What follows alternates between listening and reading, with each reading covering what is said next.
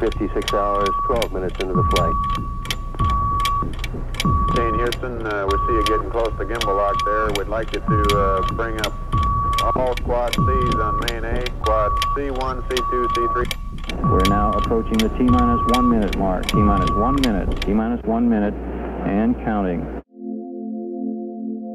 Mother Earth, our planet, our home, providing us with land, water, and sand.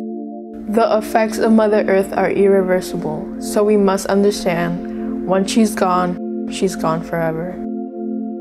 NASA states that the temperature and sea levels are rising. The animals are crying. Let's just say the Earth isn't thriving. Why does this matter?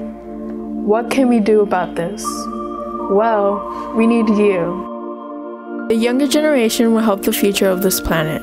Here at PCTVS, we have CTE courses that encourage hands on learning. We have future scientists and engineers that can ultimately help organizations like NASA.